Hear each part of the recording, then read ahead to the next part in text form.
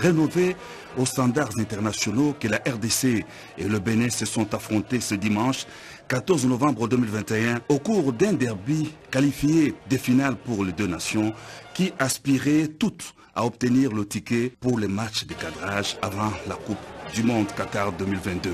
Deux buts à zéro, c'est le score qui a sanctionné ce match palpitant. Les léopards de la RDC ont eu un supporter de poids, le chef de l'État Félix Antoine Tshisekedi Chulombo entouré du Premier ministre Samalou Kondé et du ministre des Sports Serge Kondé, le premier sportif du pays a encouragé l'équipe nationale dès l'entame de la partie jusqu'à la fin du match. Déjà à la 9e minute, la RDC a ouvert le score sur un penalty réussi par l'international Mbokani. À la 74e minute, Ben Malango, sur un centre de Moukoko Amale, a alourdi la marque. Dans les tribunes, la joie était à son compte.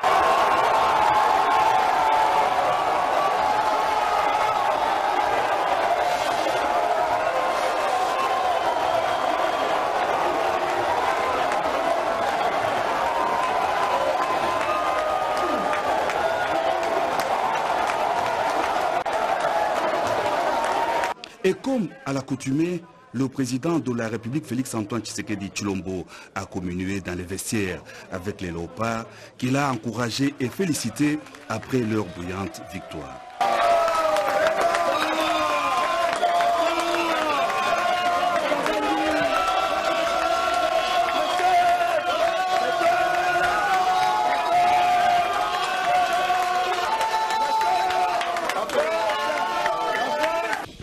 Félicitations.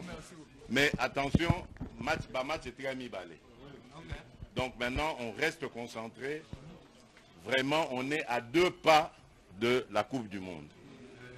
Bolakisi, vraiment euh, une maturité, une maîtrise impressionnante. Donc vraiment, je suis très fier de vous. Le peuple congolais est fier de vous. Au Salinga Penda, honneur